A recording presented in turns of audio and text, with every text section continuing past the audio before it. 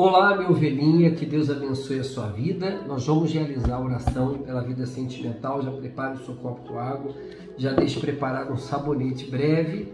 Eu estarei falando o que, que nós estaremos fazendo com esse sabonete para abençoar a sua vida amorosa, a sua vida sentimental. Servido um café?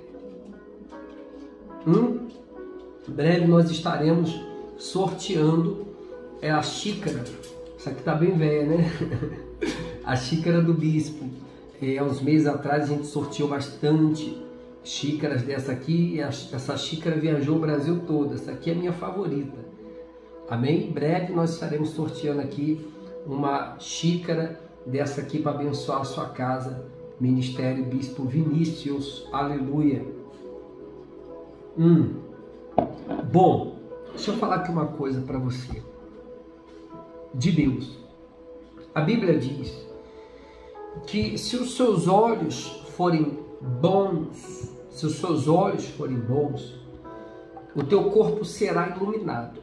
E se os seus olhos forem maus, teu corpo estará em trevas. Ou seja, tudo depende da forma que você vê, da forma que você olha, da forma que você enxerga o problema. Hoje eu atendi várias pessoas que me disseram assim: Bispo, hoje e sempre. Mas hoje bastante mulheres entraram em contato e falaram, bispo, meu marido disse que vai sair de casa. Se você for olhar com os olhos espirituais, você sabia, é forte, viu? Que ali já é o mal confessando a derrota dele? Que isso, bispo? Sim, na verdade é o mal que está usando a boca dele dizendo que vai sair, só que você não está entendendo. Você está achando que é o teu marido, não é o teu marido que diz que vai sair da tua vida ou sair da tua casa. É o mal que está nele. Por isso que você não tem que combater o marido, mas o que está por detrás do marido. Hoje eu atendi uma outra ovelhinha, falou, bispo, eu já profetizei a cura dela, vou até me segurar aqui, porque mostrou é, o suposto câncer eu já profetizei a cura dela, vai ser um testemunhaço. Já falei, já não estou vendo problema, já estou vendo testemunho. Está vendo bons olhos? O que, que é ter bons olhos? E ela falou, bispo, meu marido me trocou por uma menina nova. E, poxa, eu, depois manda a foto dele para mim. Quando mandei, um senhor. Um senhor. A menina nova, como chamam aí fora, novinha. E normalmente, o, o, o a mulher que o cara tá traindo a esposa não dá 20 do que aquele tem dentro de casa. Não vai lavar a cueca dele. Não vai. Desculpa a minha colocação, tô rasgando aqui, viu? Não vai ter a paciência que você tem. Não vai. E a maioria quer o, quer o que ele tem. E se ele é aposentado, ganha pouco, que é o pouco que ele tem. Só que o, o abençoado, eu não vou falar a palavra burro, não vou. Mas o abençoado, eu não vou falar burro, não vou falar, né? Mas o abençoado não enxerga isso. Ele acha que ele é o gostosão. Ele acha que ele é o cara, ele é o cupate, ele é o bonitão. E aquilo ali é uma pomba uma pombinha, pô, querendo destruir a vida do cara. Aí o cara perde a esposa, depois ele vai ver a lama que ele se meteu, aonde ele entrou. É bom que os homens assistam isso. O homem que troca a mulher por uma novinha ou troca a esposa, qualquer uma outra, não, importa. Aí no início você via as qualidades, passou 10, 20 anos, você vê os defeitos. Então só ela tem defeito, você não tem não? Todo mundo tem defeito, meu irmão. Poxa vida, pena que não tem aqui.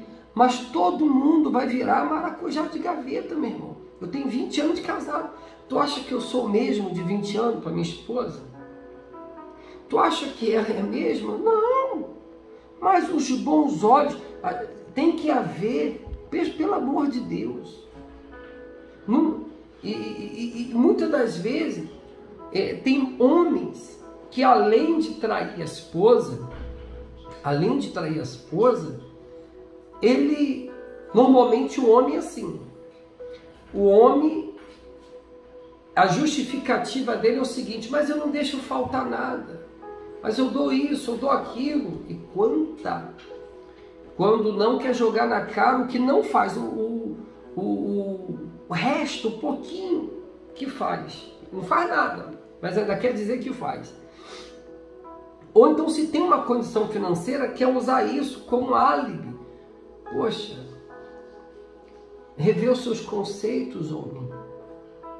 Olha para a sua vida. Você está jogando fora o que você poderia estar tá desfrutando, aproveitando, né? O que você poderia estar desfrutando. É isso mesmo. Rever a sua vida, rapaz. Isso aqui hoje é para os homens. Rever a sua vida, rapaz. Mulher, esposa, pega esse vídeo, manda para ele se arrepende. Agora, se ela vai te perdoar ou não, já é problema dela, mas seja humilde. Reconhece, cara. Tu precisa mudar. Não sei porquê, mas eu senti de falar isso aqui hoje.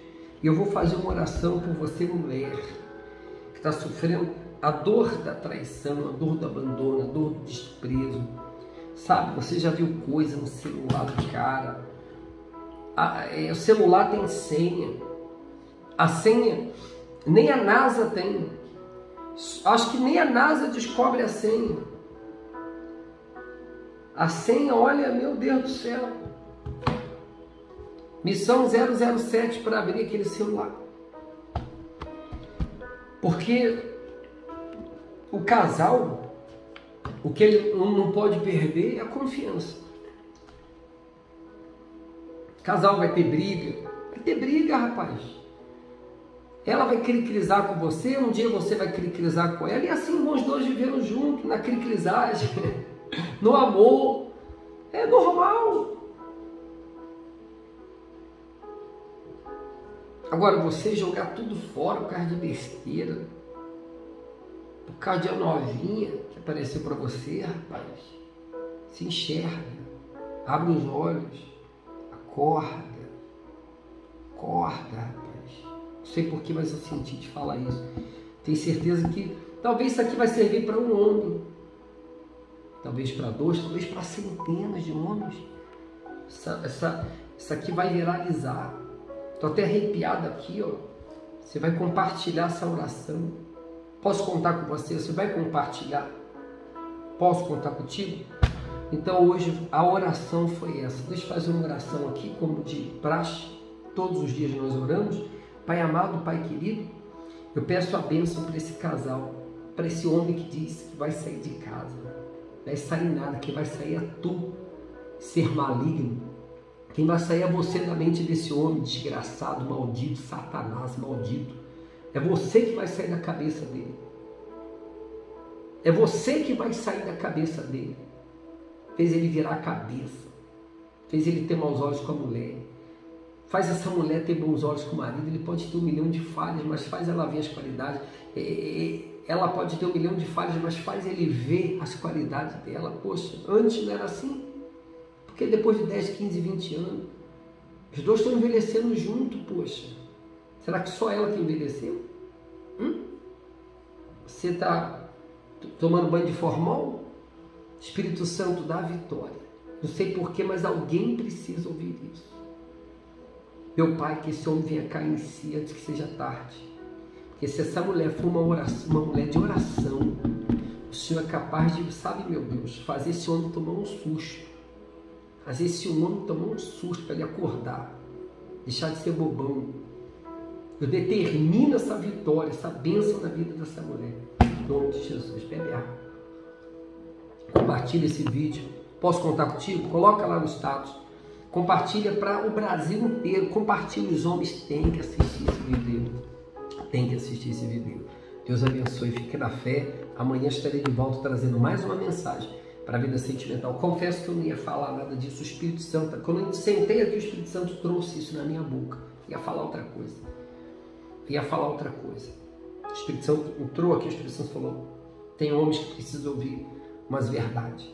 Valoriza a tua mulher, rapaz. Valoriza a tua esposa. Valoriza o teu casamento.